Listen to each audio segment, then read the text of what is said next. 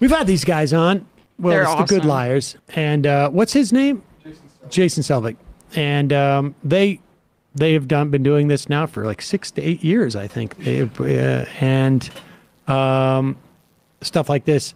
He made it to the NRA annual uh, conference in Houston, Texas. And again, you know, the NRA is not what it was. It is in many respects a shell of what it was, but it was so successful that in many respects you don't need it anymore. Yeah, its legacy is within every Republican voter. I mean, that it, it, they are they are the NRA Angels now. in the outfield, sort of thing. Yes. Um, they built it and they have all come. And uh, but here is uh, Jason Selvig at the uh, NRA meeting. It is amazing they allowed him to go on this long. And uh, that's all I have to say. Thank you. The chair recognizes the gentleman at microphone 1A.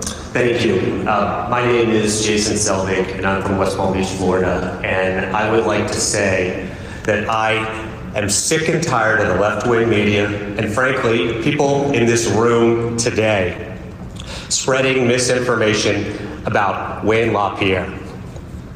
Whenever there's a mass shooting, they all say that Wayne LaPierre isn't doing enough to stop these mass shootings, and even implying that Wayne LaPierre has played a part in making it easier for these shooters to, to get guns, to get weapons.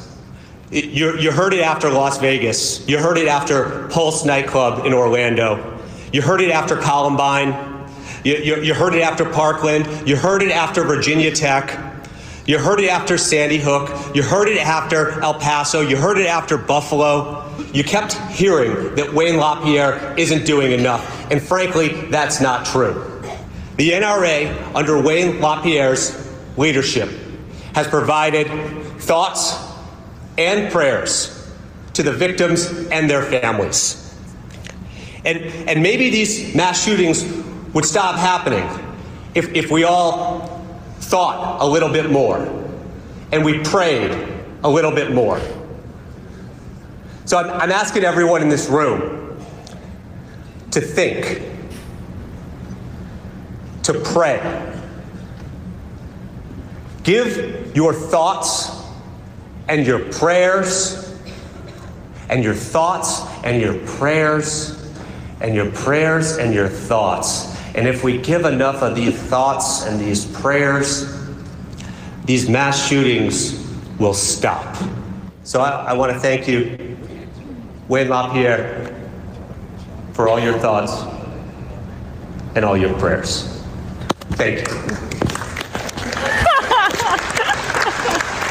Chair recognizes they were clapping after that. It's amazing. He was just toeing that line just enough. Where I love the like look of confusion on Lapierre's face. I wonder how many shootings he could have listed off before they cut his mic. Right. Yeah, it, it would have been interesting for him to just go on and on for like five, ten minutes, but they did not cut off his mic. Uh, yes, that is prayer. Uh, parody. They were all just a little confused. They're like, we think this is not. We think that he's coming after us, but we can't exactly be sure. Right.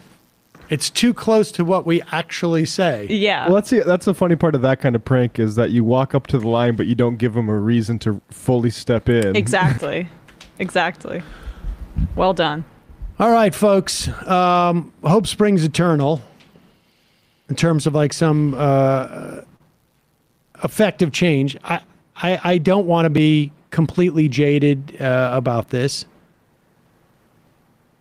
The the but the least and maybe the best, but the least we can expect from Democrats who do not have the ability to legislate. And there are some things that uh, Biden can do around the edges, maybe from executive order, but nothing, nothing. Um, I, I think like you know material at this point, unilaterally. But what they can do is make the American public understand that when you vote for a Republican because you want to cut your taxes, or when you vote for a Republican because you want to outlaw abortion, you are also voting for a Republican who is going to stand in the way of saying that everybody's not going to have access to AR 15s. and this goes for everything.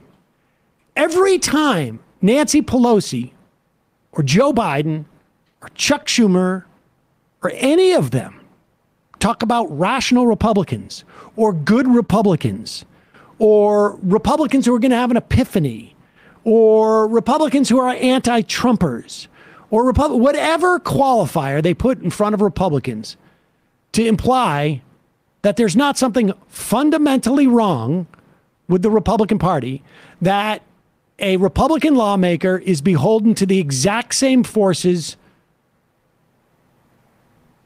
that Ted Cruz is. And so they will vote in unison, and they do, unless it's a freebie. This is going to continue. And they are just screwing up the politics.